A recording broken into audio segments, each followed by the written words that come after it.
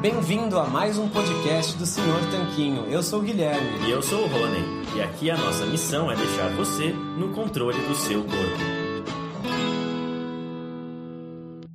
Fala Tanquinho e Tanquinha, esse podcast está sendo oferecido a você pela loja Tudo Low Carb. O que é a loja Tudo Low Carb? É basicamente um e-commerce onde todos os produtos que estão à venda são próprios para a sua dieta baixa em carboidratos. Então é muito legal, porque eles têm ótimos preços, todos os produtos são baixos em carboidratos e é lá que a gente encontra os nossos próprios ingredientes. Inclusive, eles quiseram dar um presente muito bacana para você é o seguinte: você vai na loja online, você vai encontrar todos os produtos que você quiser, entre oleaginosas do tipo castanha do Pará, amêndoas, nozes, queijos, chips de parmesão, adoçantes como eritritol e xilitol, lanchinhos práticos, macarrão com jaque, cacau em pó e todo tipo de alimento ou ingrediente que você quiser utilizar para incrementar a sua dieta low carb, você vai encontrar lá. Então é fantástico e eu tenho uma dica quente para você agora. Quando você estiver indo pagar, você coloca o cupom SR Tanquinho no checkout e vai ganhar 10% off na sua primeira compra. Então são 10% de desconto sem fazer nada. É incrível e eu recomendo que você compre lá porque os preços são bons, os produtos são ótimos e eles também apoiam essa nossa iniciativa do podcast. Tendo dito tudo isso, Hora do show. Fala Tanquinho e Tanquinha, esse podcast está sendo oferecido a você por nós. Isso, por mim e pelo Rony e pelo nosso programa Guia Dieta Cetogênica. O Guia Dieta Cetogênica é um curso em vídeo com todas as informações passo a passo para você seguir uma dieta cetogênica de sucesso. E como bônus para você que escuta os nossos podcasts, a gente colocou dentro do programa, na área de membros especial, todos os nossos produtos já publicados até hoje. Então, são dezenas de livros de receitas, são centenas de receitas. Tem também o nosso livro de texto e teoria, né, das 120 dúvidas sobre alimentação saudável respondidas, que foi elogiado inclusive pelo Dr. Souto, pelo Rodrigo Bomeni, pelo Danilo Balu e por vários e vários convidados que já passaram pelo nosso podcast.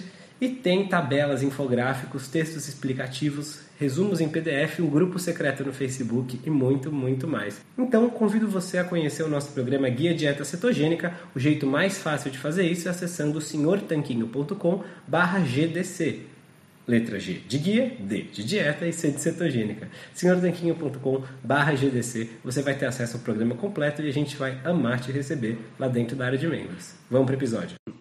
Olá, Tanquinho. Olá, Tanquinha. Sejam muito bem-vindos e bem-vindas a mais um episódio do nosso podcast. E hoje trazemos conosco o médico endocrinologista Dr. Rodrigo Bomeni. Tudo bem, Rodrigo? Tudo bom, tudo bom, Guilherme, tudo bem? Rony, é um prazer estar aqui. Acho que a gente está ensaiando esse podcast já faz uns seis meses, eu acho, né? É, ainda bem que deu certo agora. É verdade, já faz um tempo que a gente quer entrevistar o Rodrigo e finalmente deu certo. É um prazer tê-lo conosco, doutor. E falando nisso, o Rodrigo, ele é médico endocrinologista e é diretor científico da ABLC, a Associação Brasileira de Low Carb. Rodrigo, você pode começar contando para a gente como que você começou a se interessar por medicina e da onde que surgiu também esse interesse por alimentação low carb, focada mais em comida de verdade? Nossa, por medicina é uma longa história, hein? Vamos lá, faz tempo isso. É, bom, meu avô sempre falou que eu seria médico, né? Ele sempre me chamou, doutor Rodrigo, doutor Rodrigo vai ser médico tal. É, e isso, sei lá, desde quando eu tinha uns 10 anos, assim. Mas confesso que eu nunca quis fazer medicina, assim. Eu nunca pensei em fazer medicina, não tenho nenhum médico na família. Eu decidi fazer medicina, acho que eu, sei lá, três meses antes do vestibular. Foram três meses antes do vestibular que eu falei, acho que eu, eu queria fazer educação física, depois passei para fisioterapia, assim, e aí decidi fazer medicina três meses antes, e aí, enfim, passei dois anos estudando e não tive outra vida a não ser estudos, e aí passei, e aí fiz medicina. Mas foi uma decisão bem em cima da hora, assim, em relação à parte de medicina. Eu sempre gostei muito de contato com pessoas, ajudar pessoas, essas coisas assim, mas não foi uma coisa que veio de tradição familiar, nada disso. Low carb já veio, bom, depois que eu tinha me formado de endócrino, né? Assim, durante a medicina eu tinha uma certeza que eu não queria fazer cirurgia. Então, no internato, né, quando a gente passa nos estados de cirurgia, que tinha que operar, eu lembro até que a gente fazia trocas assim, né? Tem aquela, aqueles amigos seus que querem ser cirurgião e eles fazem questão de entrar para fazer apendicectomia. E, e, e, tem os clínicos, digamos assim, que não gostam muito de cirurgia. E, e aí a gente trocava, dava o plantão e eles operavam, a gente fazia essas trocas. Então eu sempre quis fazer clínica. E aí depois decidi por fazer endócrino. Minha residência de endócrino eu fiz, eu fiz lá na HC, na USP, assim, foi muito boa, uma residência muito boa. Mesmo é, em relação à obesidade, assim, é, eu, é, eu aprendi muito sobre obesidade lá. Acho que eu tive ótimos professores na, durante a residência. É claro que quando a gente faz medicina, principalmente, o nosso foco sempre é muito no tratamento da doença, né? A gente tem pouco pouca informação e pouca formação é, para promover saúde, digamos assim. Né? O nosso foco é sempre usar medicamento. Então, assim, você tem diabetes, você vai usar esse medicamento, você vai controlar a sua glicose. A abordagem que a gente tem do ponto de vista nutricional, eu até tive, mas é uma abordagem assim bem bem escassa, assim, não é uma coisa muito aprofundada. E eu saí da faculdade, assim, acho que com a crença do que a maioria das pessoas tem em relação à gordura, é, a você não poder restringir muito carboidrato tal, é um foco que, assim, na prática as pessoas se tornam dependentes de, de remédios, né? E aí eu conheci low carb, putz, eu acho que talvez há uns 5, 6 anos, assim, primeiro eu li o livro do Gary Taubes, mas eu confesso que não foi algo que, assim, que eu li e falei, puxa, mudei minha ideia totalmente agora, uh, mas aí vi que no consultório, assim, também não andava, os primeiros anos de consultório meus foram muito muito ruins e chatos, para ser bem sincero, assim, porque de fato mandar as pessoas comerem menos e se exercitarem mais era uma coisa que não funcionava, assim, passava a depender só de remédio, eh, as pessoas tinham fome, era uma dieta meio chata. Aí depois foi crescer, daí eu comecei a conhecer low carb, foi uma coisa muito bacana, assim, quando eu conheci low carb. Eu falei, nossa, isso aí faz todo sentido, tal, assim, resolvi estudar mais ainda. E aí comecei a fazer tipo um, digamos assim, um estudo científico no meu consultório, né? Para uns pacientes eu dava low carb, para outros eu fazia o que eu estava acostumado. E era nítido que com low carb, assim, tinha uma resposta melhor tal.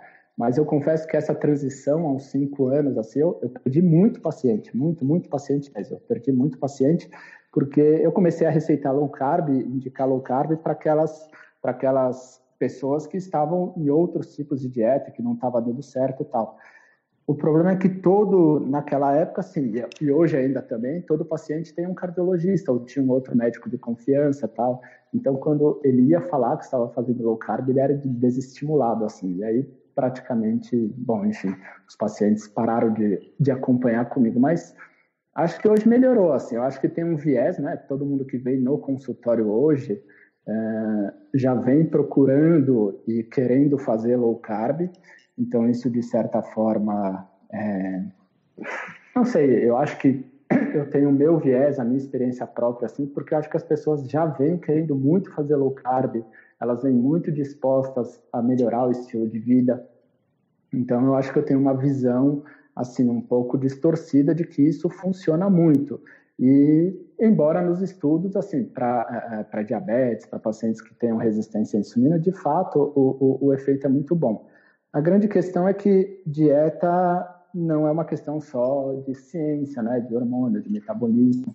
Eu acho que dieta envolve muito assim questão de hábito, é, questão motivacional, de você ajustar suas expectativas, questões emocionais principalmente.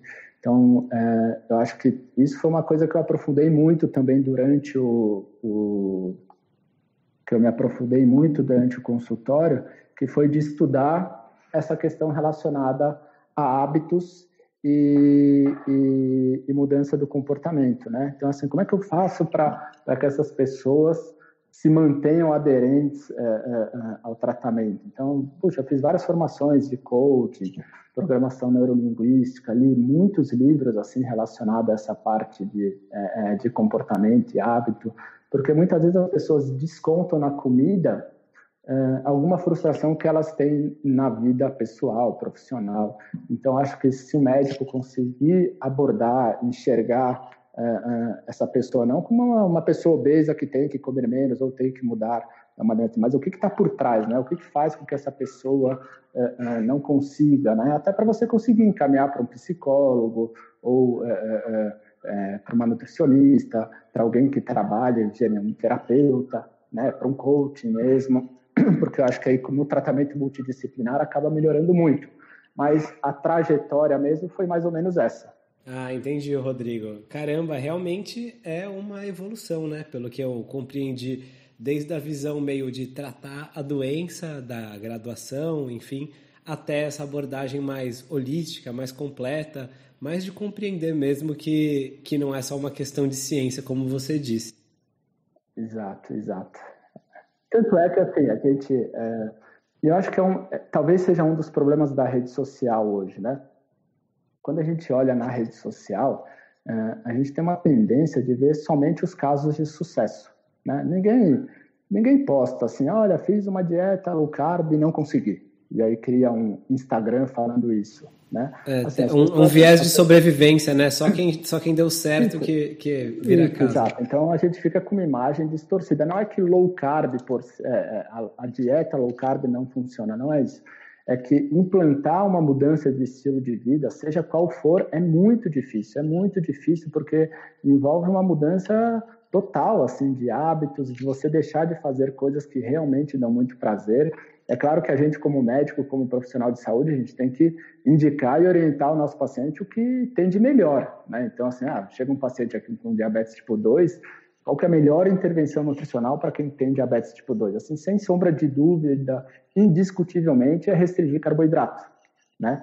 É, isso significa que esse paciente vai conseguir fazer? Não, né? Mas a única maneira de você saber se ele vai querer fazer isso ou não é se, se ele tiver é, é, essa opção, se ele souber que é seguro, olha, eu posso restringir carboidrato e se eu fizer isso eu vou deixar de usar é, medicamento, eu vou deixar de usar insulina, eu tenho chance de reverter a doença, eu vou ter menos fome. Tudo bem, isso vai implicar em deixar de comer o pão, que é uma coisa muito gostosa quando com manteiga, isso vai implicar de comer sobremesa todo dia, isso vai implicar em talvez não beber mais suco de laranja, mas isso, é, quem tem que decidir é o paciente, né? É, e talvez essa seja uma das brigas que eu tenho, assim, essa discussão de, das pessoas falarem que todas as dietas são iguais, a melhor dieta é aquela que o paciente consegue aderir. Isso não é verdade, né? Assim, você tem dietas que são melhores para determinadas doenças. E o paciente tem que saber qual que é a melhor opção, né? Mas talvez ele consiga fazer essa melhor dieta agora, talvez ele consiga fazer parte, talvez ele não consiga fazer nada, e aí você vai ter que gerenciar. É igual quando você vai comprar um carro assim, você, ah, qual é o melhor carro? O cara não pode te falar, olha, o melhor carro é esse daqui, já julgando que você não vai ter muito dinheiro e tal ele provavelmente ele, ele vai ter que falar, olha, o melhor carro é esse, porque ele atinge tal velocidade, ele é muito seguro tal, e quando ele te fala o preço, você fala, pô, isso aí realmente agora eu não vou conseguir, eu vou ficar com esse, que é um pouquinho pior. Eu acho que a visão que a gente tem de dieta é, nos estudos acaba sendo um pouco distorcida por causa disso, porque quando você faz um estudo de dois anos de duração, chega no final do estudo, ninguém está seguindo mais nada, e aí simplesmente você define que as dietas são iguais, são parecidas, mas a verdade que está por trás é mudar o hábito é algo muito difícil, né? É, mas o seu paciente tem que ter o direito de saber qual é a melhor opção, porque se ele seguir, que bom, né? É o que a gente vê no estudo do Virta, por exemplo, com dieta cetogênica e diabetes. A maioria consegue seguir, porque tem um aporte muito próximo também, até por essa questão de é, monitorar, de coaching e tal, e você vê o resultado surpreendente que é, né, assim, de, de reduções absurdas de insulina, suspensão de medicamentos, mais de 50% de reversão do diabetes tipo 2. Então, é, é, eu acho que a gente tem que orientar sempre o que é melhor para o paciente. Isso não significa que, você não vai individualizar depois de acordo com o gosto, a preferência, o que, que ele consegue fazer ou não. Às vezes, para um paciente, é muito mais difícil restringir completamente, porque isso, por algum motivo, gera um, uma certa, é, é, um certo desejo incontrolável. Às vezes, para esse paciente, é melhor comer, é, sei lá, pão de manhã. Se restringir completamente, vai ser é, é, a, a gota d'água para ele não fazer absolutamente nada, entendeu? Mas você só tem como saber isso se ele discutindo com o paciente. Ah, excelente, Rodrigo. Realmente, o, o que parece cada vez mais para nós, inclusive como é, pesquisadores, divulgadores e como pacientes Sim. também, é que tem que achar um equilíbrio entre o que é algo sustentável, que o paciente consegue fazer, e o que funciona, né? Não adianta passar para o paciente a dieta do, da panqueca de Nutella, que ele vai conseguir uhum. seguir e vai ter ótimos resultados. Estou adorando, exatamente. já ganhei 3 quilos em um mês, meus marcadores de saúde foram para o lixo, né? Tem que achar Exato. um equilíbrio entre as duas coisas. E a restrição calórica tradicional, né, que indiscutivelmente pode é, remover parte do excesso de peso e melhorar alguns marcadores, mas que é um sofrimento e ninguém segue no longo prazo, ainda mais nessas questões pontuais como, como o diabetes. É, eu acho que são, são pontos diferentes, assim, né? Quando você faz uma restrição calórica, as pessoas deixam de seguir porque elas passam fome, a maioria das vezes. Né? Assim, ninguém, você pode propor qualquer coisa, mas ninguém aguenta passar fome. Em algum momento você abandona e fala, jamais vou continuar passando fome. Esse é um ponto. É, talvez o outro problema da restrição calórica é quando você considera calorias que entram, calorias que saem, é, seria uma coisa muito boa se a gente fosse capaz de controlar as calorias que saem, mas a gente não controla, né? Então, que, assim, todos os estudos mostram quando você faz restrição calórica forçadamente, o seu corpo se defende, ele, ele simplesmente diminui o metabolismo, ele diminui claro. o que sai, né? Acho que é uma coisa que eu que eu, que eu gosto de falar nesse sentido quando alguém fala, ah, mas você está dizendo que a termodinâmica não funciona, calorias que entram, calorias que saem. Falo, não, mas é que não são variáveis independentes. Exato, exato. É, é aquela história que assim, o balanço calórico negativo ele é algo necessário, não é a causa, né? É, seria como assim, hoje eu atendi um, um, um, paciente que ele é diretor de cinema, e a gente estava discutindo sobre isso, tal. E, e aí eu dei um exemplo para ele que seria como assim, ele não se preocupasse mais de fazer nenhum filme bom, entendeu? Porque assim, se a intenção dele é simplesmente encher o teatro, ele só tinha que se preocupar de entrar mais gente dentro do cinema lá do teatro. E aí era só ele pegar um monte de policial e entuchar todo mundo para dentro que ele teria o, o, o, teatro dele cheio, que é uma besteira, besteira ele se preocupar de fazer um filme bom, uma peça boa, porque é simples, para encher o teatro é só mais gente entrar no teatro do que sair do teatro. Que quando a gente tem um foco só na caloria, é mais ou menos isso. É, é você é, menosprezar todo o restante. Para que, que alguém come? Né? Alguém, as pessoas não comem por causa de calorias, né? as pessoas comem para nutrir o corpo. Então, é, é, o fato de você continuar comendo mais ou menos está muito mais associado é, à densidade nutricional do, do que você está comendo, à densidade proteica, do que necessariamente calorias, né? É, e eu acho que quando a gente por muito tempo a gente focou somente em calorias, né? A ideia é que se você comer 100 calorias de um bife, 100 calorias de um brigadeiro, a resposta seria o mesmo. E é desconsiderar totalmente a parte é, não só hormonal, mas do efeito disso, né? A pessoa come 100 gramas de proteína e fica absolutamente saciada, e a pessoa come 100 gramas de bolo, de chocolate, e ela quer mais 100 gramas, mais 100 gramas, mais 100 gramas, e não consegue parar. Acho que é um pouco aquela ilusão, assim, de que quando você pensa que tudo é caloria, você tem aquela falsa ilusão que é até confortável, assim, que, puxa, você pode comer de tudo um pouco, né? Assim, ah, se é tudo caloria, basta eu comer um pouquinho de chocolate, comer só um pouquinho de bolo, um pouquinho só do, do, do croquete. Mas quem consegue comer pouco dessas, né, desses industrializados? Eu acho que esse é, talvez tenha aquelas pessoas que consigam comer pouco, mas são poucas. É, tem, tem aquelas que comem até muito, mas que não engordam. Também é uma minoria. A grande verdade é que a maior parte da população não consegue comer pouco dessas, desses produtos aí. E não é por uma, um azar dessas pessoas, é que esses produtos eles foram, digamos assim, desenvolvidos, produzidos para que você consuma muito, né? Assim, uma indústria alimentícia não vai fazer um, sei lá, um sucrilhos e falar assim, olha, vamos preparar uns sucrilhos, mas quando a pessoa comer uma porção, ela já tem que se sentir satisfeita e não vai comer mais. Né? A ideia não, a ideia é que você come uma porção, tenha muito prazer, que você queira repetir, porque quanto mais vender, quanto mais você comer, maior vai ser a venda. E aí as pessoas se frustram por não conseguir comer pouco, né?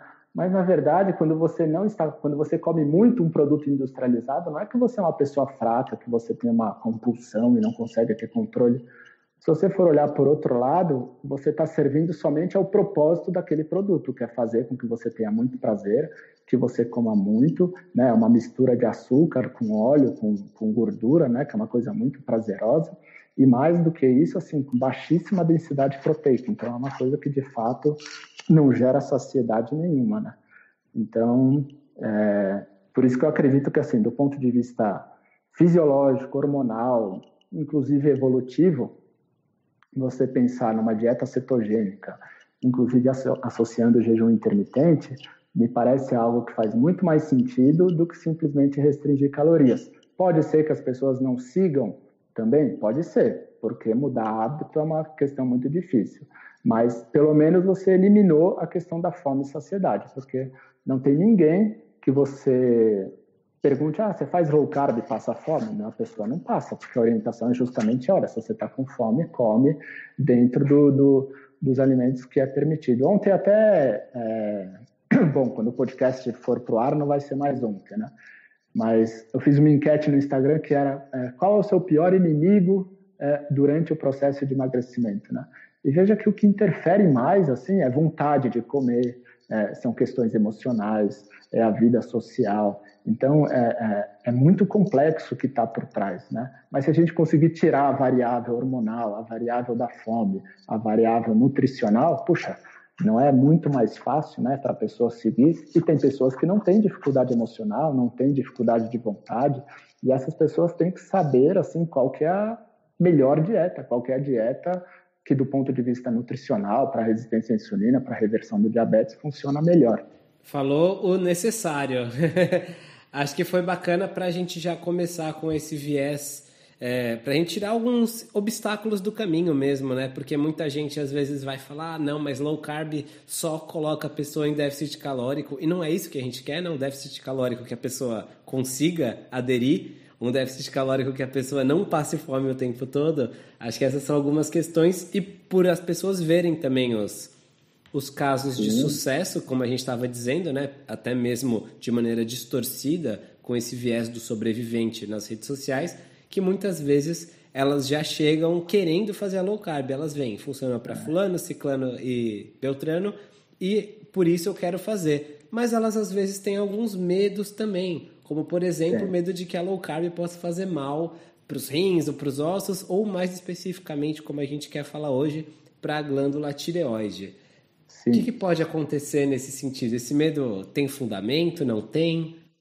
Uh, bom, se eu fosse falar de forma resumida, não tem, né? Então não tem. É, é, se eu for te falar que não tem nenhum estudo que demonstre que aumentou a incidência de hipotiroidismo, eu acho que eu estaria mentindo, porque eu acho que tem um de dieta cetogênica em crianças que mostrou que aumentou um pouco a incidência de hipotiroidismo e tal.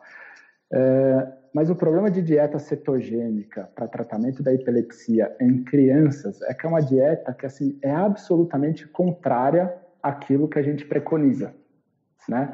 É uma dieta repleta de óleo vegetal, é uma dieta hipoproteica, então assim é, é muito difícil a gente achar que vai ser é, é, igual que a gente preconiza é, é, para é, atualmente para adultos, enfim, e até para crianças, se fosse algo que a gente fosse atender, né? Mas nos estudos, como tinha muito esse medo de gordura saturada, é uma dieta absolutamente inflamatória. Então, acho que tem um estudo que demonstra isso, mas na prática, não.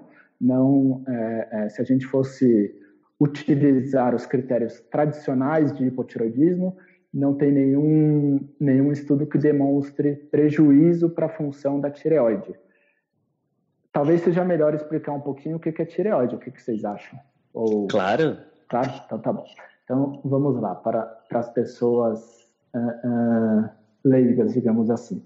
Então, tireoide é uma glândula pequenininha que tem aqui na frente do pescoço, né? Quando ela está com um nódulo um pouquinho aumentada, a gente até consegue palpar ela, mas embora muito pequenininha, ela tem uma função no nosso corpo que é muito, muito importante. Assim, praticamente todas as células do nosso corpo, elas têm receptor para esse hormônio da tireoide, tá?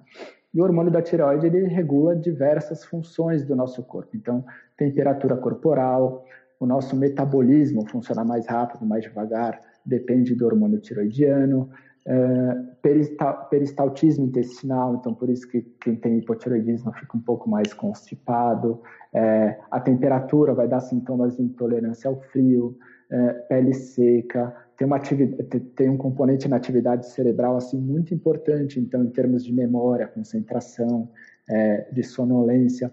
Então, é, a função tiroidiana, assim, é, não ter hormônio tiroidiano é uma coisa muito, muito prejudicial, né? Tanto que pacientes com hipotiroidismo têm um risco muito, é, é, tem um risco aumentado, digamos assim, também de ter doença cardiovascular. Mas o que é a tireoide, assim? Então, a tireoide ela é uma fábrica, né? E é uma glândulazinha que é uma fábrica. Então, ela produz hormônios, que são substâncias que vão agir em outro lugar no corpo, que, como eu disse, no caso do hormônio tiroidiano, elas vão agir em praticamente todas as células do corpo, tá? E ela é regulada por uma outra glândulazinha que chama hipófise, que produz um outro hormônio que chama TSH. Tá? É, aqui, talvez, o que seja importante entender é que seria como assim, a tireoide é a fábrica e o TSH fosse um chefe. Mas ele é um chefe meio burro, assim, sabe? Ele consegue... É, o que ele visualiza mesmo é a quantidade que está sendo produzida na fábrica. Ele não consegue visualizar nada além da fábrica. Então, imagina que é, é uma fábrica que produz tecido e camisetas, tá? Produz tecido e camisetas, tecido e camisetas. Se, se por acaso a fábrica começa a produzir menos tecidos e camisetas, a hipófise, o TSH, o chefe, digamos assim, ele percebe, e aí começa a aumentar o tom de voz. Vocês têm que trabalhar mais, vocês têm que trabalhar mais. E aí a fábrica tireoide vai e trabalha mais. Se ele percebe que está trabalhando bem ou até em excesso, assim, está produzindo muito, putz, ele vai tirar um cochilo, ele fica lá baixinho, não fala quase nada tal. Mas ele só está vendo o que acontece dentro da fábrica, só o que acontece dentro da fábrica. Mas qual que é o problema no caso da tireoide? O que a tireoide mais produz é um hormônio que, na verdade, é um pré-hormônio, que se chama T4, que é tiroxina, tá? E ela produz um pouquinho de T3 que na prática é o hormônio ativo, ou seja, o que é um hormônio ativo? É aquele hormônio que vai se ligar no receptor. E só quando o hormônio se liga no receptor é que ele desencadeia toda a ação que ele tem que fazer. No caso da fábrica em questão, seria como se o T4 fosse o tecido e o T3 a camiseta, ou seja, é uma fábrica que produz muito tecido e um pouquinho de camiseta. Mas ninguém, é, é quando isso vai para a rua, sai da fábrica, ninguém usa tecido na rua, né? Assim, as pessoas é, usam camisetas. Então, assim, esse tecido ele vai ter que entrar em algum lugar, numa costureira, em alguma loja, vai ter que ser transformado numa camiseta para alguém vestir a camiseta, que seria o receptor, né? A questão é que o TSH ele não enxerga isso, ele só enxerga a fábrica, só enxerga a fábrica, só enxerga a fábrica. E veja que assim, mesmo você produzindo muito tecido, talvez durante esse percurso aí de desse tecido sair da fábrica ir até uma loja, alguém confeccionar lá a camiseta e vender e entrar numa pessoa, assim pode ter diversos é, percalços no caminho que o chefe não vai não vai perceber. Então, às vezes está faltando transporte, é, às vezes esse tecido está com dificuldade de entrar na loja. Ele até entra na loja, mas não tem costureira. Ele entra lá, tem costureira, mas não tem fio para fazer a camiseta. Em último caso, até tem a camiseta, mas na hora de se ligar lá, de vender, puta, vendeu pouco, assim, as pessoas não gostaram da camiseta e tal. Mas para o chefe não importa, para o chefe ele só está vendo a fábrica, ele só está vendo a fábrica ali e para ele está tudo bem. Pode estar todo mundo andando pelado na rua que ele não está nem sabendo, entendeu? O que importa é a produção de tecido ali que ele está vendo dentro da fábrica. Então, quando a gente pensa em tireoide, é mais ou menos isso. É, o que, que é preconizado hoje? Você faz o diagnóstico de hipotireoidismo baseado exclusivamente no TSH, que é o chefe. Se o seu TSH está alto, você fala falta hormônio. Se o teu TSH está normal, você fala, não falta hormônio, essa pessoa produz hormônio suficiente. Mas veja que você está olhando só o centro ali, a fábrica. Porque depois que esse hormônio sai da tireoide, ele vai cair no corpo. E aí é um grande problema, porque esse hormônio vai para o sangue e ele vai ter que entrar dentro da célula, né? Mas quando ele entra dentro da célula, que vai ter essa conversão do T4 que é o pré-hormônio, e um T3, que é o hormônio ativo, ou seja, que é ele que vai se ligar dentro do receptor. E esse processo de entrada na célula, de conversão do T4 em T3, tem diversas e diversas situações que está prejudicado. Então, em inúmeras situações, por exemplo, você pode ter um TSH normal, ou seja, um chefe lá tranquilo, e está faltando hormônio ativo dentro da célula. E talvez esse seja o maior problema, né? Porque as pessoas ficam sintomáticas com o TSH normal, ou seja, tem sintomas de hipotiroidismo e isso não é evidenciado pelo exame. Mas, uh, voltando à tua pergunta, será que low carb piora a função tiroidiana? De onde sai, é, de onde que sai esse mito, digamos assim?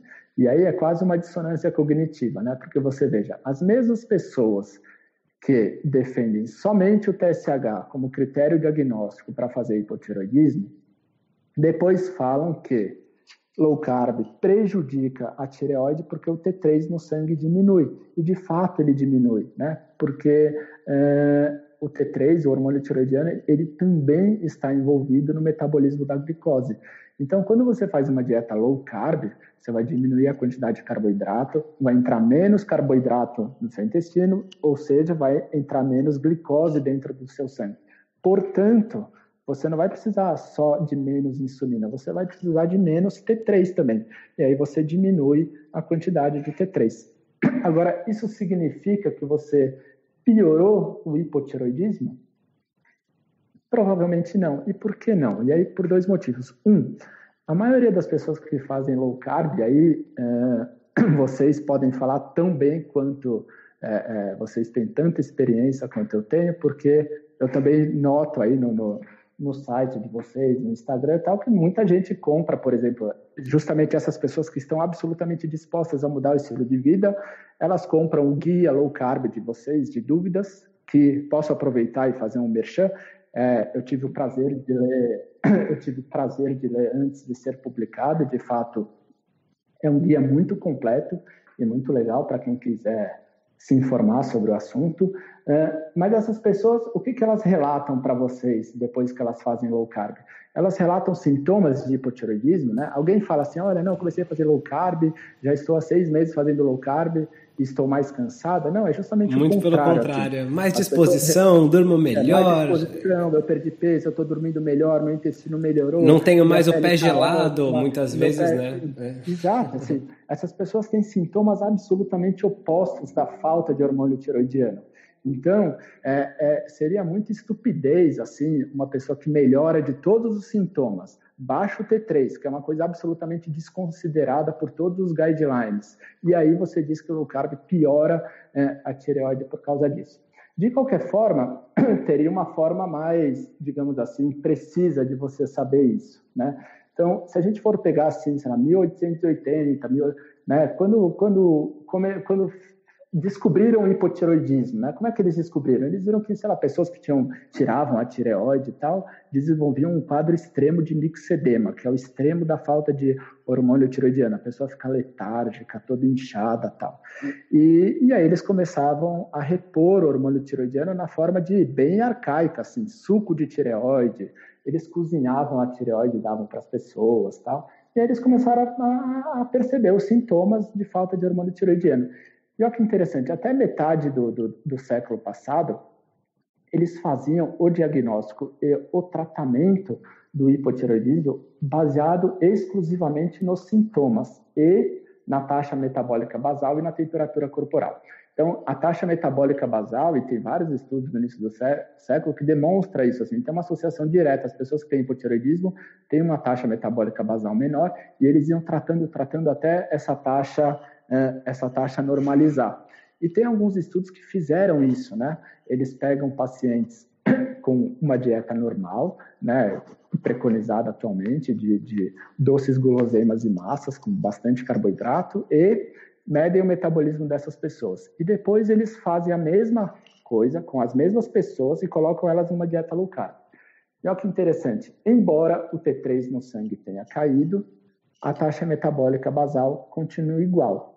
Né? Ou seja, qual é a conclusão que você consegue tirar desse estudo? De duas uma, ou essa queda do T3 foi só por causa do, do da porque tem menos glicose você vai precisar de menos T3, ou se você quiser ser mais uh, uh, ousado, digamos assim, você poderia até dizer que uma dieta low carb melhora a sensibilidade do T3 na periferia, porque com menos T3 você está conseguindo manter o mesma, a mesma taxa metabólica basal.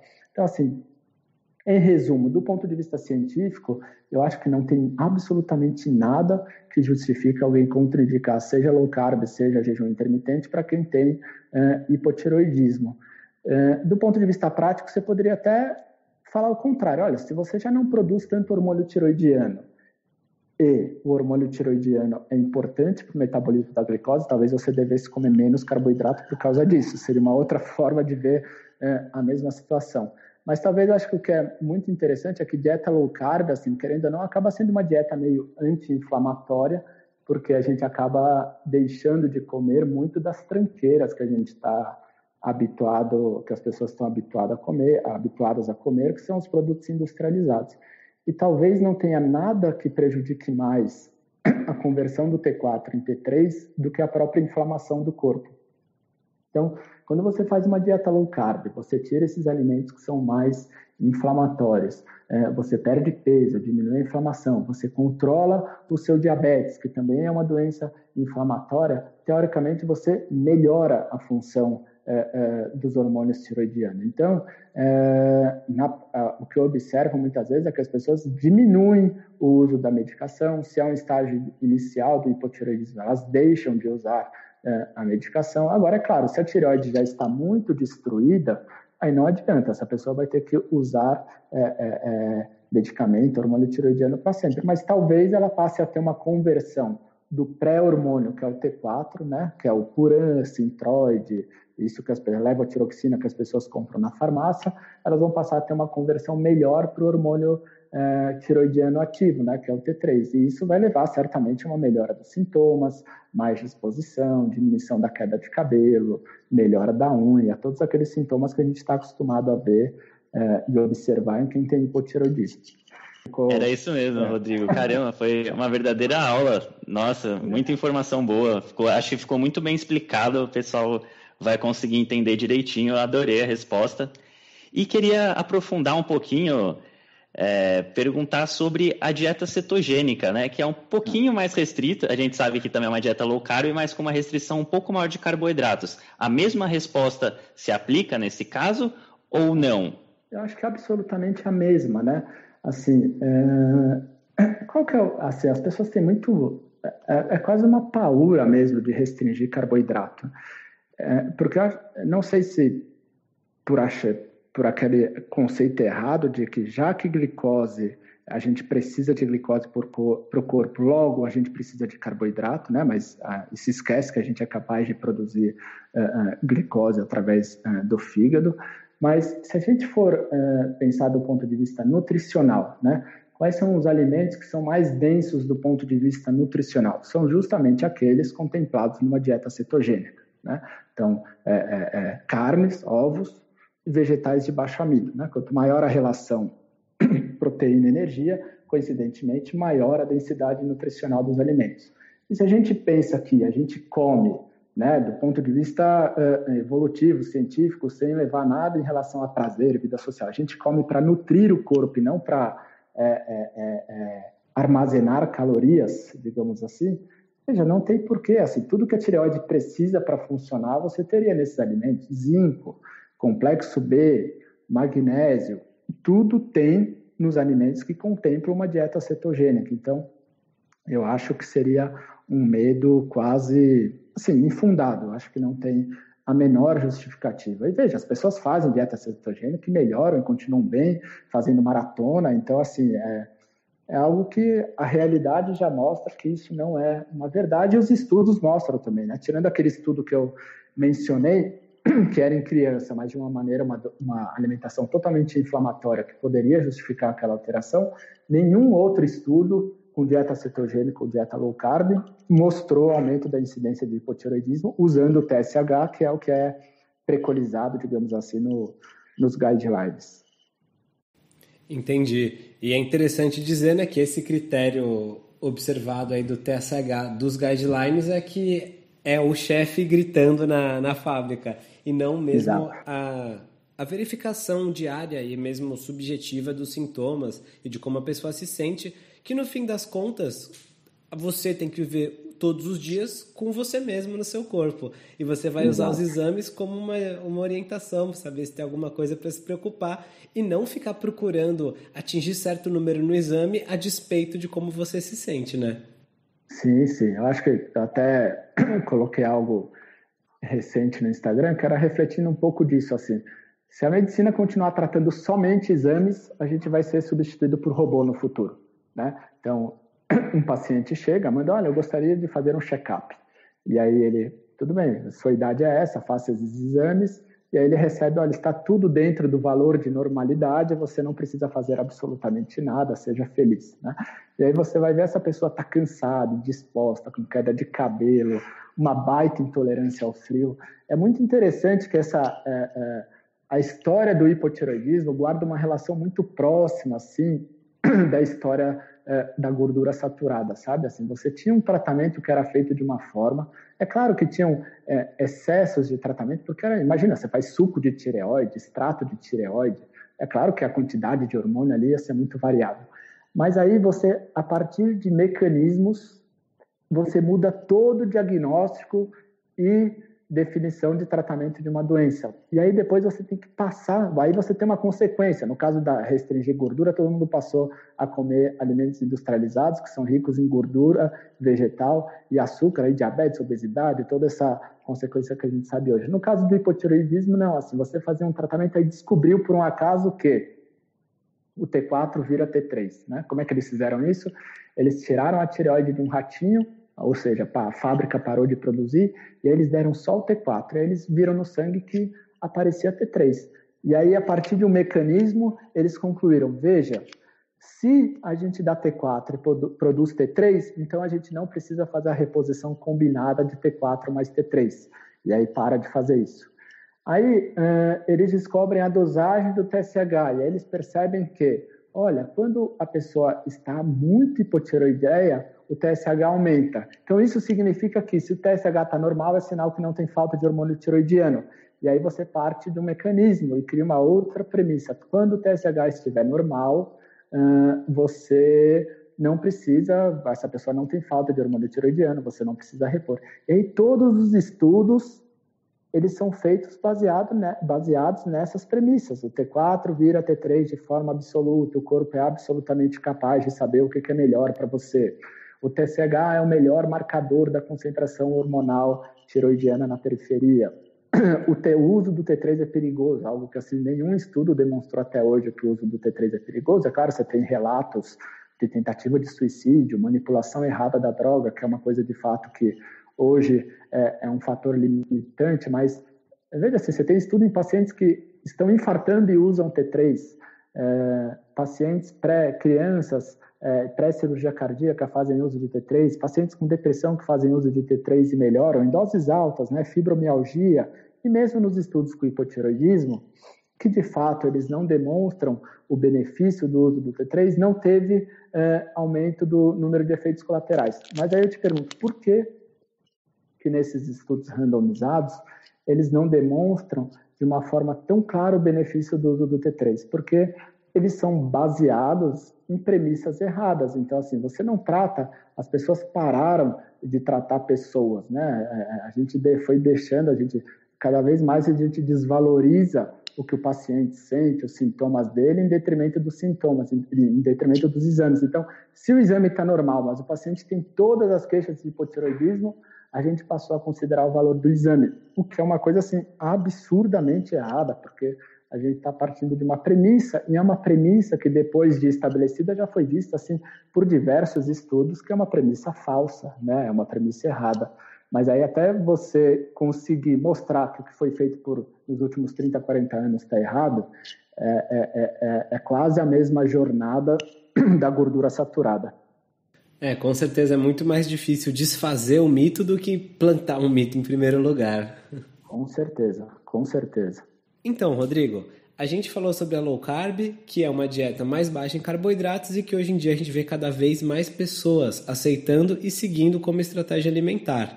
A gente também falou um pouquinho da dieta cetogênica, que é ainda mais restrita em carboidratos, né, mas que ainda permite aqui a sua salada, o seu abacate. Então, ela ainda é uma dieta que você consegue montar pratos interessantes e que você conseguiria mostrar para alguém um prato, às vezes, de peixe com uma salada e azeite e praticamente todo mundo dizer: este é um prato saudável. Porém, tem um grupo de pessoas que é um grupo cada vez maior, pelo que a gente percebe nas mídias sociais, que está seguindo uma estratégia baseada em se alimentar apenas de alimentos de origem animal, a chamada dieta carnívora. Nesse contexto, o que, que a gente pode dizer sobre a dieta carnívora e a saúde da tireoide? Ótimo. Uh, vamos lá. Do ponto de vista científico, é claro, a gente, a gente tem poucos estudos relacionados à dieta cetogênica e tireoide, imagine em relação à dieta carnívora, né? Então, assim, é, se a gente for pensar em estudos randomizados, a gente tem, acho que, assim, eu não lembro de ter lido um estudo randomizado comparando dieta carnívora com outra dieta, tá? É, agora, acho que vale a pena lembrar que os, os alimentos de origem animal, do ponto de vista nutricional, são os mais densos do ponto de vista nutricional e os mais densos do ponto de vista proteico, tá?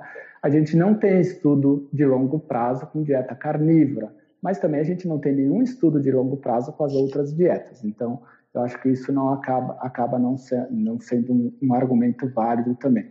Eu acho que o que as pessoas têm que refletir é, talvez, o que, que seja mais, o que, que seria mais saudável?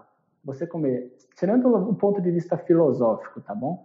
É, porque filosofia, religião, essas coisas acabam sendo quase é, é indiscutível, assim, é uma opinião pessoal. Mas pensando do ponto de vista científico e nutricional, o que, que seria mais saudável? você viver apenas de alimentos com consumo é, é, de origem animal, que é algo que, do ponto de vista evolutivo, a gente já fez em determinada época, claro que comendo um pouquinho ali de, de frutos tal, mas era uma coisa é, episódica, ou comer apenas coisas de origem vegetal, que do ponto de vista evolutivo a gente nunca fez. Do ponto de vista proteico, o que, que seria mais saudável? Do ponto de vista nutricional, o que, que seria mais saudável? Sim, eu tenho, eu tenho minhas dúvidas. Acho que talvez, assim, pensando no ponto de vista da tireoide, eu não vejo nenhum problema em seguir uma dieta carnívora, tá? Talvez o que a gente tenha que pensar é que, puxa, fazer uma dieta carnívora, de fato, acaba sendo um pouco mais é, é, é, restritivo no sentido, assim, de opções que você falou, né? Numa dieta cetogênica você tem ainda algumas outras opções. Mas veja que eu acho que aí a gente entra naquela questão assim, o que, que a pessoa está disposta? Ela consegue seguir carnívora e para ela, e, e, e, é através da carnívora que ela é, reverteu o diabetes? E aí, desculpa, eu vou ter que, eu vou citar o Cláudio Holanda, que vocês conhecem, e é um amigo meu, né? Uhum. É, veja, ele faz dieta carnívora, ele reverteu o diabetes dele, ele tinha um triglicérides que era e eu estou falando isso porque ele já expôs isso publicamente. Mas ele tinha um triglicérides que era de 1.800, ele tinha uma hemoglobina glicada que era de 12, ele pesava, sei lá, quase 130 quilos, e com dieta carnívora ele reverteu absolutamente tudo, não usa nenhum remédio, tá? tem um triglicérides de 50, uma glicada de 4,8. Alguém teria coragem de falar que dieta carnívora fez mal para ele? Não tem como, né? Não é uma população, não é um estudo, mas para ele, ele olhando em primeira pessoa a experiência, não tem como dizer que. Para ele funcionou. Para ele funcionou, entendeu? E ele já tinha tentado fazer outras dietas de três em três horas, bolachinha, mas ele se adaptou nessa daí. Né? Ele se sente bem, é bem disposto, ele melhorou gases, estufamento. É... então, assim, alguém teria coragem de dizer que dieta carnívora vai matar ele, que com a dieta carnívora ele vai viver menos, tendo vista de todas as doenças que ele reverteu. Então, acho que isso acaba tendo que ser assim, uma decisão do paciente, expõe, olha, não, de fato não tem, é, você se sente bem fazendo e aí vai monitorando. Acho que tudo tem risco, né? não tem, é, é, é sempre vai ter algum risco que a gente não sabe. Tá? Mas isso a gente não vai saber com nenhuma dieta, essa é a verdade. Ah, perfeito, Rodrigo. É, acho que a gente cobriu o que a gente tinha imaginado cobrir sobre a tireoide e a gente tinha mais uma ou duas perguntas para fazer. Você tem alguma coisa a acrescentar sobre a questão da tireoide ou podemos seguir em frente? Não, pode seguir, pode seguir. É, então, é, é uma questão relacionada ao que você tinha falado no começo do podcast sobre o diabetes, que o diabetes, é, a melhor dieta, melhor alimentação seria uma que restringe um pouco os carboidratos, né, justamente por esse problema em lidar com a glicose. E uma coisa que a gente fica curioso em saber é por que insistem em uma dieta baixa em gorduras e rica em alimentos integrais, né, macarrão integral, pão integral, para lidar com esse tipo de condição, né, para lidar com diabetes, ao invés de recomendar logo uma dieta baixa em carboidratos, porque ainda tem é... tanta resistência da área médica. Eu acho que assim, é, se você pega a, a, a, origem do tratamento de diabetes, era dieta cetogênica, né? A origem do tratamento é dieta cetogênica. Então você pega lá 1900, comecinho assim, quando não tinha tantas opções terapêuticas, né? O tratamento era restringir carboidrato totalmente, né? É, e aí eu vou usar uma analogia do solto até. É, quem tem diabetes infarta mais. O infarto é causado por gordura, restringe a gordura. Né? Uh, quem tem diabetes tem mais doença renal. Doença renal é causada por proteína. Não causa, mas eu digo, é, é, é o senso comum. Então, restringe a proteína. Sobra carboidrato, entendeu? É, então, eu acho que o senso comum é mais ou menos esse. Já que diabetes infarta mais, restringe a gordura. Já que dá problema nos rins, restringe a proteína e acaba que o que sobra é carboidrato. Aí você fala, ah, como carboidrato complexo, mas no fim é tudo a mesma coisa. Assim. Fala para um diabético comer um pão integral e um pão normal, é, a glicose vai subir da mesma forma. Eu acho que aí o grande problema dos estudos e da interpretação dos estudos é, é que as pessoas assim, e eles chamam até do, do, do quinquênio perdido, assim, do diabetes, porque a gente ficou com uma tara pela glicose, né? A glicose, a gente tem que tirar a glicose do sangue e tal, mas é, é, a glicose é só, é só um, um, sintoma, assim, a glicose é um sintoma, seria como a febre na infecção, assim, você ficar dando de pirona para baixar a febre e a bactéria está lá te corroendo todo. Então, quando você tem o diabetes tipo 2, assim, a glicose é um sintoma, ela está alta no sangue, mas o maior problema é resistência à insulina e inflamação. E a gente, por muito tempo, por 50 anos, ficou focando em tratamentos, é, é, é, medica, é, em medicamentos que tirem a glicose do sangue e, e joguem para qualquer lugar. Melhorando esse sintoma, melhorando esse marcador laboratorial, tudo estaria bom. Né? E aí você vê que nesses 50 anos, nenhuma medicação é, mostrou de fato um benefício claro, assim, do ponto de vista de desfecho cardiovascular. Né? Tem estudo, inclusive, mostrando que se você insulinizar demais o paciente, eles morrem mais. Por quê? Porque talvez o maior problema não seja a glicose. É claro que tem que controlar a glicose porque tem as complicações microvasculares de olho, é, do olho, dos rins, dos nervos, mas o problema maior do diabetes tipo 2 é justamente a resistência à insulina e à inflamação. Então, quando você faz uma dieta low carb, independente da perda de peso, mas claro que mais se você perder peso, você melhora a resistência à insulina e melhora a inflamação. Ou seja, você está melhorando ali a, o que está o maior problema da, da, da história, né? Mas o, o, o, ponto é que assim as pessoas têm esse foco muito no controle glicêmico. E é claro, assim que você consegue controlar a glicemia de um paciente diabético, se ele comer só pão o dia inteiro, assim, você pode dar uma dieta de 100% de carboidrato que você vai ser capaz de controlar a glicose dele no sangue, mas às custas do quê? De usar muito, muito medicamento. Então, assim, você torna, é, é, você transforma essa pessoa num dependente de remédio, né? E são remédios que não param a progressão da doença. Então, você foi diagnosticado com diabetes tipo 2 hoje, você, você segue lá, olha, você tem que ter uma alimentação normal, igual toda a população, ou seja, que é Veja, assim, é esconder a realidade do paciente. Tem horas que é extremamente duro, mas você tem que, você tem que expor a realidade. Olha, você tem uma doença, infelizmente, é uma doença que é muito chata, mas é uma doença que é caracterizada pela intolerância à glicose. Ou seja, tudo que virar glicose no seu corpo, na prática, o seu corpo vai ter dificuldade de lidar. E o que mais vira glicose é carboidrato. Se você continuar comendo muito carboidrato, vai chegar muita glicose e de alguma forma a gente vai ter que tirar essa glicose do seu sangue, porque seu corpo não consegue mais fazer isso. Aí eu botei esse, esse, esse, esse, esse remédio. Mas se você não muda, né, assim, a origem, daqui dois anos esse paciente vai precisar de um outro remédio, daqui três anos de um outro remédio, daqui quatro anos de um outro remédio. Então, quando você olha os estudos e fala, olha, as duas dietas é, é, é, conseguiram o mesmo controle glicêmico, veja, isso não basta. Isso não basta. Você tem que olhar a quantidade de remédio que os dois grupos usaram, porque o custo do tratamento medicamentoso é muito alto. Nos Estados Unidos, ano passado foram 40 bilhões de dólares só de tratamento medicamentoso. O custo de você deixar esse paciente com resistência à insulina inflamada é muito alto, porque é isso que vai gerar todas as outras complicações. Então, em um paciente se manifestou como diabetes, no outro vai se manifestar como infarto, como é, é, derrame, como esteatose hepática, como Alzheimer, como gordura no fígado, como hipertensão arterial. Mas veja que a, a base, o centro de tudo é a mesma coisa, assim, a resistência à insulina e inflamação, resistência à insulina e inflamação.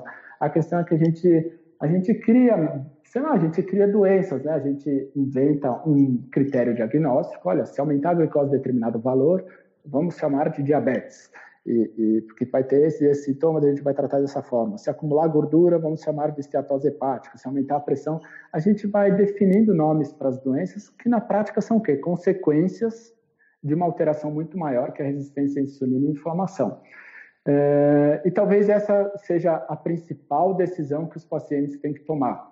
É assim, você está disposto a tratar a doença, e aí isso significa se manter doente, obviamente, você pode melhorar a glicose no sangue, mas você continua tendo diabetes, né? E hoje você tem diabetes, mas talvez daqui a 10 anos você tenha Alzheimer. Pode ser que a resistência à insulina e a inflamação se manifestem de outra forma daqui a 10 anos. Ou você está disposto a ter saúde, tá? Mas ter saúde é diferente de tratar doença. Para você ter saúde, você tem que mudar o estilo de vida. Né? E, e, e, boa parte da mudança do estilo de vida envolve mudança da alimentação e que basicamente é retirar como base da alimentação essas tranqueiras dos alimentos industrializados. Acho que esse é o primeiro passo. E se a pessoa tiver de fato uma intolerância à glicose, resistência à insulina, aí fazer dieta low carb, dieta cetogênica. Mas acho que a, a, o grande ponto é esse. Você que tipo de tratamento você quer para o seu diabetes? Você quer reverter a causa ou você quer controlar o sintoma, a consequência? Que é a glicose alta no sangue. É, você quer ter a chance de reverter essa doença sem passar fome, ou você quer continuar doente, ou fazer uma dieta da fome para conseguir emagrecer, mas provavelmente reganhando todo o peso depois. Isso é uma decisão que o paciente tem que tomar. Né? Agora, o paciente só é capaz de tomar essa decisão se ele for apresentado de uma forma clara. Olha, existe essa opção. Você restringir carboidrato, você consumir mais proteína, você aumentar um pouquinho o seu consumo de, de gordura. Né? Veja, você não precisa exagerar no consumo de gordura e nem deve fazer isso justamente porque você quer que o seu corpo use a sua gordura. Né? Mas o paciente ele precisa saber que isso é algo seguro, né? Que ele não vai morrer quatro anos mais cedo porque está fazendo dieta low carb, que ele não vai ter um câncer porque ele está fazendo dieta low carb, que é, é ele não vai infartar porque ele está fazendo dieta low carb. Assim, o paciente ele tem direito de saber qual que é a melhor opção. Se ele vai aderir ao tratamento, se ele vai achar que ele deve comer pão, isso é uma opção dele, né? O que eu vejo muito hoje em dia é assim, os profissionais de saúde, eles já pré-julgam, eles têm um preconceito, de acordo com a experiência deles, que aquilo não vai dar certo. Então, vou dar o exemplo de novo do Cláudio, eu vou ter que pagar depois para ele pelos, pelas... vou ter que ir na churrascaria com ele, pra, de tanto que eu citei ele. Mas imagina se ele me fala, né, na primeira vez que ele é, é, é, é que eu conheci ele, ele está falando que vai fazer, tá fazendo dieta carnívora e tal, e eu como médico fala, não faça isso, você não vai conseguir, isso é muito restritivo. Você entende que eu estou colocando um julgamento meu, que eu talvez eu não conseguiria fazer dieta carnívora por muito tempo, de fato. Né? Eu estou colocando um julgamento que é meu nele. E veja que ele está assim há quase dois anos e está muito bem com diabetes revertido todos os exames absolutamente normais. Então, eu acho que a gente tem que expor para o paciente quais são, uh, uh, o que é o melhor e aí depois individualiza o tratamento de acordo com as preferências e, e o que, que ele é capaz de fazer. Ah, perfeito, Rodrigo. Acho que você abordou muitos e muitos pontos sensacionais. Quem estiver ouvindo a gente agora, se tem diabetes ou pré-diabetes ou conhece alguém com diabetes, sugiro que depois volte e escute novamente a fala do Rodrigo, porque tem muitas nuances que podem não ficar aparentes no primeiro momento. E, Rodrigo, além desse ponto da alimentação, né, que faz parte integrante de um estilo de vida saudável e que pode ajudar também a combater a resistência à insulina e mesmo impedir ou retardar o desenvolvimento do diabetes e ajudar na remissão dele, tem outros hábitos de estilo de vida que também são considerados saudáveis. Mas a gente queria perguntar de você, quais são os seus hábitos saudáveis no dia a dia? O pessoal que nos escuta adora essa sessão e gosta também de conhecer um pouquinho mais do que as pessoas que vêm aqui no podcast fazem para cuidar da saúde, além de comer direito. Maravilha, vamos lá. É, bom, eu sou casado, eu tenho três filhas, né? É, em casa, o que, que a gente prioriza é ter o máximo possível de comida de verdade. Tá? Então, é, é, é, muito, muito, muito, muito raro que tenha alguma coisa industrializada em casa. Pão, é, doces, dificilmente isso tem em casa. É, como é que é meu café da manhã? Às vezes é jejum, tá? É, queijo coalho, é algo que eu como bastante também, e hambúrguer. Tem um hambúrguer de 200 gramas, assim, quase artesanal, assim, que eu como bastante também no café da manhã. É, almoço eu geralmente como aqui perto no consultório, aí geralmente é mais carnes, carnes. É, às vezes eu pego um pouquinho de fruta, então morango, às vezes até um pouquinho de manga que tem no quilo ali, mas não é muito comum. E à noite, talvez seja o momento que eu coma mais assim vegetais, novamente alguma carne, peixe, frango, alguma coisa nesse sentido, e fruta, né? É, é, eu acabo comendo uma fruta assim depois do jantar. Eu acho que talvez esse seja um dos motivos que eu não, não conseguiria fazer carnívora, porque de fato eu gosto bastante de fruta. É, de final de semana, às vezes tem uma exceção, né? Então, é, algum sorvete com, a, com as minhas filhas, ou eventualmente se sai para jantar tal. Mas assim, eu vou te falar que é, é, as exceções hoje em dia são bem, bem raras, assim, bem raras. Né? Eu acho que tem uma questão assim, as pessoas têm que mudar um pouco a expectativa do que, que elas esperam em relação à dieta, sabe? É, quando eu vou comer, assim, eu sei, pode parecer uma coisa meio radical, tal, mas é, eu não espero ter nenhum prazer comendo. É claro que eu não quero ter desprazer, né? Eu não vou comer uma coisa que eu não goste, né? Mas a minha expectativa principal nunca é ter muito prazer. Assim, a minha expectativa principal é sempre nutrir o meu corpo da melhor maneira possível naquele momento. Então, quando eu saio daqui e vou pro quilo, eu saio pré-determinado, 100% comprometido do que eu vou nutrir meu corpo da melhor maneira possível, né? É, porque no fim, o que faz a gente se sentir satisfeito, o que faz a gente se sentir feliz, está muito mais relacionado à expectativa que a gente tem sobre determinada coisa do que é, a realidade que a gente vive. Porque o que eu observo, assim, muitas vezes, é que as pessoas têm uma certa necessidade de ter muito prazer comendo, ou de, de todos os eventos sociais serem satisfeitos com a comida que está sendo servido ali.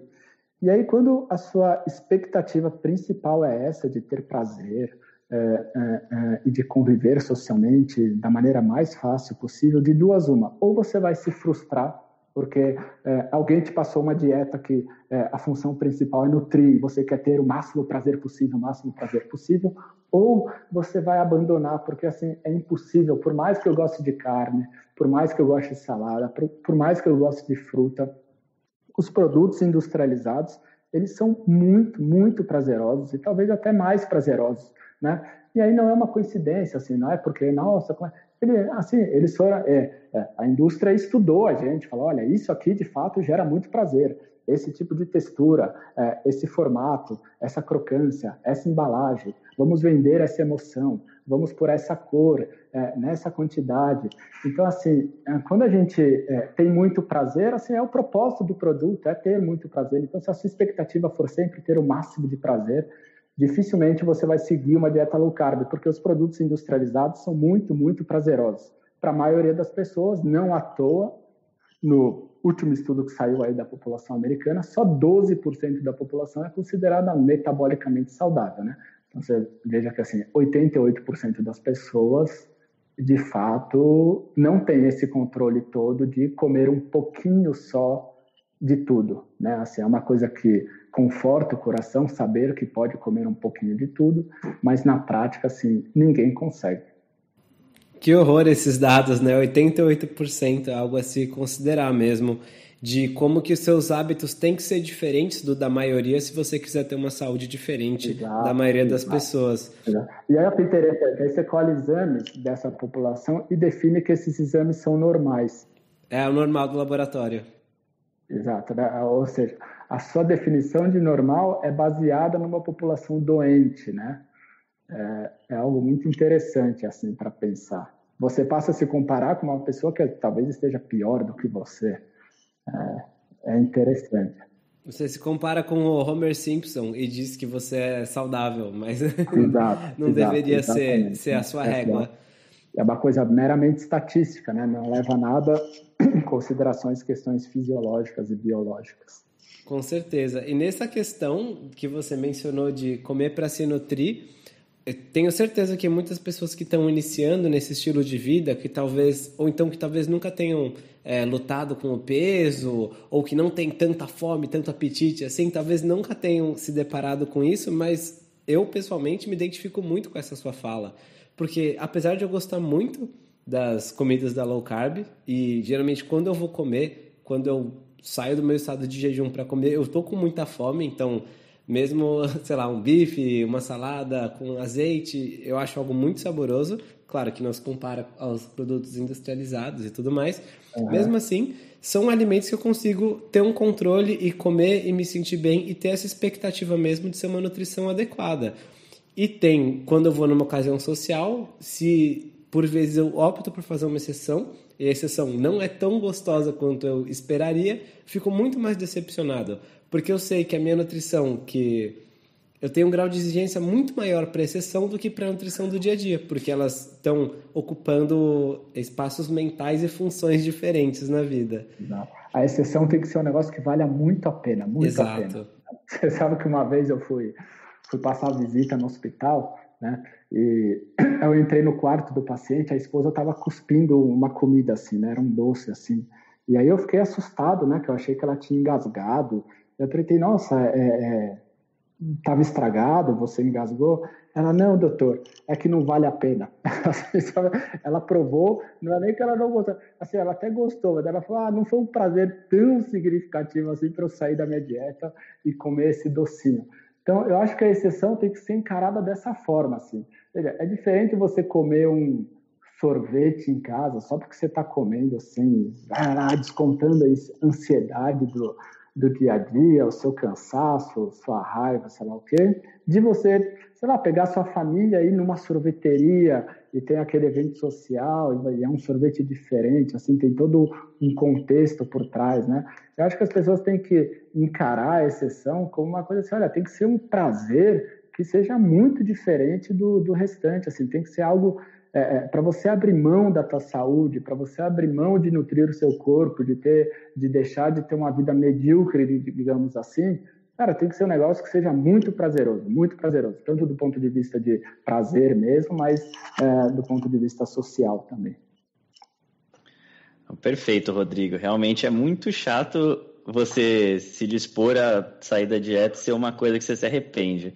E a gente queria tocar num assunto antes de finalizar a respeito da ABLC, que eu citei no começo do episódio, que você é diretor científico. A gente queria saber da onde que surgiu a ideia da Associação Brasileira de Low Carb e qual que é a sua finalidade. Então, é, a ABLC é, é uma entidade sem fins lucrativos, tá? então a gente não recebe nenhum financiamento nem da indústria alimentícia, nem da indústria farmacêutica. E isso é essencial porque a gente não pode ter conflito de interesse, né? Se a gente acha que determinada coisa faz mal, a gente tem que falar que faz mal, independente de, é, é, é, é de estar recebendo dinheiro ou não. E, e, e, por mais idôneo que você seja, se você está recebendo dinheiro, você tem o um rabo preso, tá? É, e a entidade surgiu por dois motivos. Um, divulgar a alimentação low carb, tá? E, e, e, e, por que que precisa ter uma entidade fazendo? Porque, querendo ou não, dieta low carb é uma dieta discriminada, digamos assim, por boa parte dos profissionais de saúde, mas principalmente pela mídia. Então, toda, toda vez que você tem uma minoria, você acaba tendo que ter uma entidade para defender essa minoria injustiçada, digamos assim, tá? Então, é, uma das funções é essa, divulgar conteúdo científico baseado em, em ciência e sem interesses comerciais, tá? A segunda finalidade é justamente conseguir certificar produtos que são feitos e ditos como low carb ou bons para diabéticos, e que eles sejam de fato bons para diabéticos, porque hoje o que a gente vê é que as associações que defendem, que teoricamente defendem a saúde e o bem-estar dos pacientes com diabetes, elas certificam produtos para pacientes que têm intolerância à glicose, que têm praticamente 100% de glicose, ou seja, de maltodestrina, né? E isso é um problema seríssimo, assim, porque, olha, para a gente, a gente não tem diabetes, a gente faz dieta low carb porque a gente acha que, de fato, é uma dieta nutritiva, a gente gosta, faz bem, né? Mas tem algumas pessoas que usam a dieta low carb, a dieta cetogênica, pessoas com diabetes tipo 1, com diabetes tipo 2, com epilepsia, que a dieta cetogênica é uma é, é algo terapêutico, né?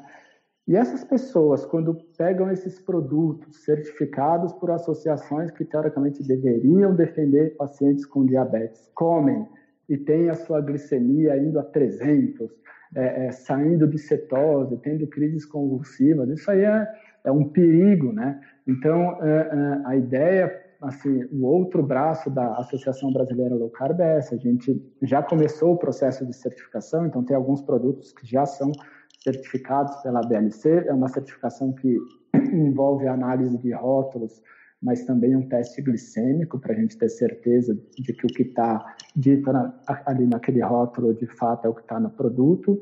E a gente quer que as pessoas que querem seguir uma dieta low carb, seja por, prazer ou seja porque elas têm uma doença que dependa é, é, que a dieta é uma questão terapêutica, o nosso desejo é que essas pessoas consumam esses produtos, esses alimentos, sem medo de que ali tem uma quantidade de carboidrato que possa ser prejudicial para elas. É, tem o Instagram da BLC, né? então ablc.org.br, também tem o site, que é ablc.org.br. Hoje em dia, a gente sobrevive, digamos assim, então, embora seja uma organização sem fins lucrativos, é, existem custos, né? A gente tem secretário, tem que ter é, um local alugado, é, tem imposto, tem tudo isso. Então, a gente sobrevive com a ajuda dos contribuintes, né? Então, é, é, pessoas que se identificam, que tiveram suas vidas mudadas com a dieta low carb e que querem que essa informação se espalhe para o maior número de pessoas possíveis, né? Então, essas pessoas fazem uma doação mensal, um valor assim simbólico, R$17,90, R$19,90 por mês, e a gente acaba usando esses recursos para pagar, uh, uh, usar para as partes burocráticas. A gente está criando um guia de alimentação infantil, porque nas, nas boa parte das escolas ainda uh, a pirâmide alimentar, que já é algo totalmente desatualizado, ainda é ensinado. Em breve a gente vai ter esse guia alimentar lançado. Então, eu acho que é uma entidade que surgiu há pouco tempo, né, uma associação que surgiu há pouco tempo, mas que eu tenho é, fortes esperanças aí que nos próximos meses, anos, a gente consiga crescer e talvez ajudar cada vez mais pessoas. Não, perfeito. O senhor Tanquinho já é associado também? Sim, Desde sim, o início sim. já somos lá associados e vamos deixar o link aqui embaixo para quem quiser conhecer mais o trabalho da BLC, o Instagram e o site também. E é muito importante esse trabalho. Outro dia a gente até postou no Instagram é, sobre dois alimentos que se dizem fazer bem para diabéticos, tem até o selo da Associação de Diabéticos, mas que é bem o que você falou. São cheios de maltodextrina, e aí vários comentários de pessoas que usavam achando que estavam fazendo um bem para si, mas que no final das contas viram que era um perigo usar aquilo e falaram que iam abandonar esses alimentos. E olha, e olha que maluquice, né? Olha que maluquice, assim. Você pega essas marcas de isotônicos, né? É, o que, que eles têm, esses isotônicos para corredor, que, que a propaganda é recupera rapidamente a sua energia, recupera rapidamente o seu glicogênio muscular tal. O que, que esses isotônicos têm? Maltodestrina. Né? É engraçado, você vê o, o mesmo produto maltodestina que é, é, dito como rápida absorção, recupera rapidamente a energia, por quê? Porque ele é absorvido rapidamente e entra como glicose no sangue, que é uma, que é uma fonte de energia, recupera o glicogênio, que é a glicose acumulada, tal, é taxada como segura justamente por pessoas que têm intolerância à glicose, assim. É, é, é algo inacreditável, assim. Quando você para para pensar racionalmente, sei lá, inacreditável talvez seja uma palavra que dê para a gente falar aqui no podcast. É, mas é, sei lá, é, é, não tenho palavras para descrever o sentimento quando eu penso nisso. É realmente um absurdo, deixa qualquer um chocado mesmo. E, Rodrigo, é, a gente vai deixar aqui as mídias sociais da BLC que eu falei, mas também o pessoal, com certeza, depois dessa entrevista, vai querer seguir você e acompanhar essas atualizações. E onde é que eles podem encontrar o Rodrigo nas mídias sociais? Acho que tem, tem no Instagram, né? Então, se colocar arroba Rodrigo Bomeni, é com Y no final. É, eu tô lá no Instagram. É uma boa. Eu geralmente costumo postar coisas sobre low carb, é, emagrecimento. Tenho postado muito sobre essa questão de mudança de hábitos, comportamentos, que eu acho que talvez é onde mais pega aí para as pessoas. É, mas vai ser um prazer recebê-los lá na, na página. Bom, perfeito, Rodrigo. Então a gente vai deixar também os links das suas, da sua mídia social aqui embaixo. Combinado. E Rodrigo, para quem escutou a gente até aqui, antes de nos despedirmos, queria saber se você tem alguma mensagem final para a audiência, algum chamado para ação ou algo que eles podem fazer que vai melhorar a vida deles de alguma maneira. É... Puxa, isso é uma pergunta tão.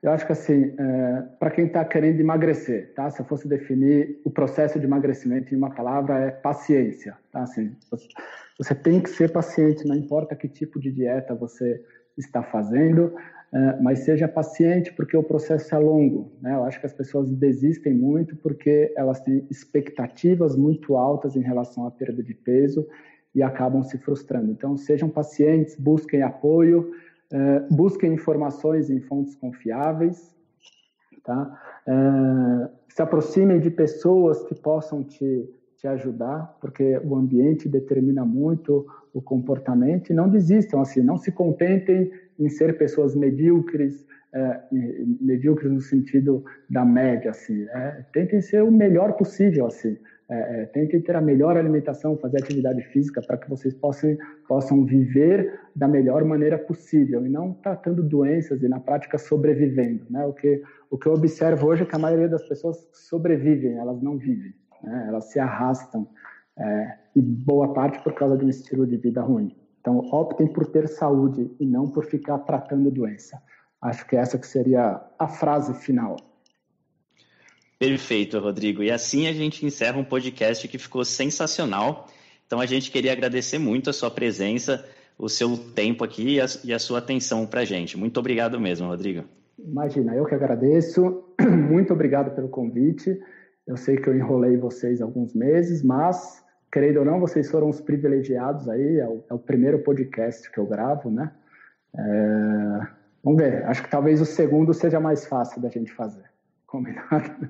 Com certeza, a gente vai querer você de volta aqui no nosso podcast e tenho certeza que o público, a audiência que escutou esse aqui também vai querer. Obrigadão novamente, Rodrigo, e obrigado também a todo mundo que escutou e que escuta a gente. Toda segunda-feira tem episódio novo. A gente alterna entrevistas com especialistas como o Rodrigo Bomeni, com episódios em que somos só eu e o Rony falando sobre tópicos de interesse. Vale a pena você escutar todos. Para isso é só se inscrever na sua mídia favorita. Pode ser SoundCloud, Spotify, iTunes, onde você escutar podcasts, escuta lá que o nosso vai estar, tá, tá certo? Muito obrigado, pessoal, e a gente se vê na segunda-feira que vem. Um forte abraço do senhor, do senhor Tanquinho. Tanquinho.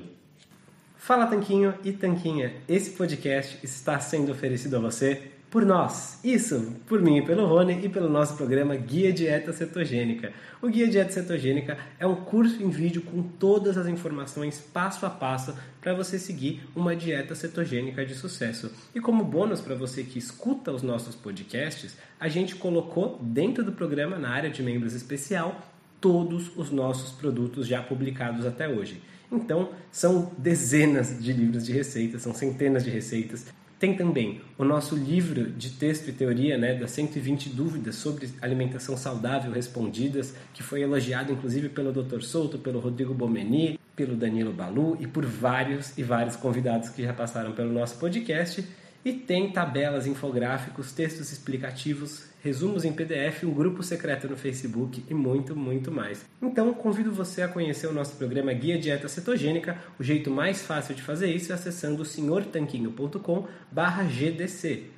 Letra G de guia, D de dieta e C de cetogênica. senhortanquinho.com GDC, você vai ter acesso ao programa completo e a gente vai amar te receber lá dentro da área de membros. Fala Tanquinho e Tanquinha, esse podcast está sendo oferecido a você pela loja Tudo Low Carb. O que é a loja Tudo Low Carb? É basicamente um e-commerce onde todos os produtos que estão à venda são próprios para a sua dieta baixa em carboidratos. Então é muito legal, porque eles têm ótimos preços, todos os produtos são baixos em carboidratos e é lá que a gente encontra os nossos próprios ingredientes. Inclusive, eles quiseram dar um presente muito bacana para você é o seguinte: você vai na loja online, você vai encontrar todos os produtos que você quiser, entre oleaginosas do tipo castanha do Pará, amêndoas, nozes, queijos, chips de parmesão, adoçantes como elitritol e xilitol, lanchinhos práticos, macarrão com jaque, cacau em pó e todo tipo de alimento ou ingrediente que você quiser utilizar para incrementar a sua dieta low carb, você vai encontrar lá. Então é fantástico e eu tenho uma dica quente para você agora. Quando você estiver indo pagar, você coloca o cupom SR BR Tanquinho no checkout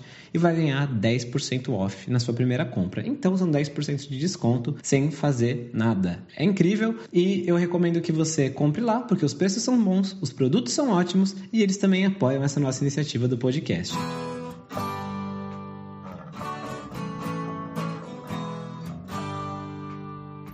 Você acabou de ouvir mais um episódio do podcast do Senhor Tanquinho. Não deixe de se inscrever para não perder nenhum episódio com os maiores especialistas para a sua saúde.